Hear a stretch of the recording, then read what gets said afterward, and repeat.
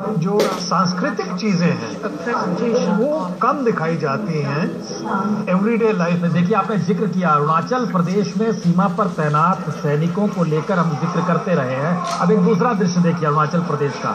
लोग कहेंगे, इसको किस रूप में इसकी पहचान होनी चाहिए?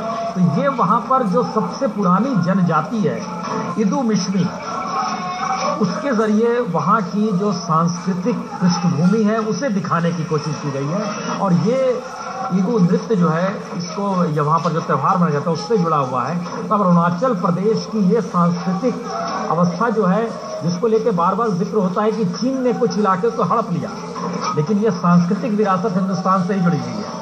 और अब इसको जोड़ने का एक ज़बरदस्त प्रयास भी किया जा रहा है अरुणाचल प्रदेश को।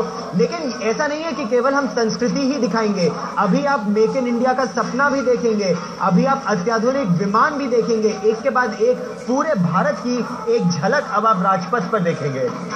ये बहुत ज़रूरी चीज़ है क्योंकि हमको अपने देश के बारे में, क्योंकि इतनी विविधता है और इतना बड़ा देश है, कई बार पता नहीं लगता कि गोवा कहाँ है और अरुणाचल कहाँ है। और गोवा का आप देखें तो एक मिश्रण था गिटार से लेके ट्रेडिशनल फिशरमैन का। जी। एक और चीज़ मैं कहना चाहता हूँ कि थोड़ी हल्की हल्की बूंदाबांदी जो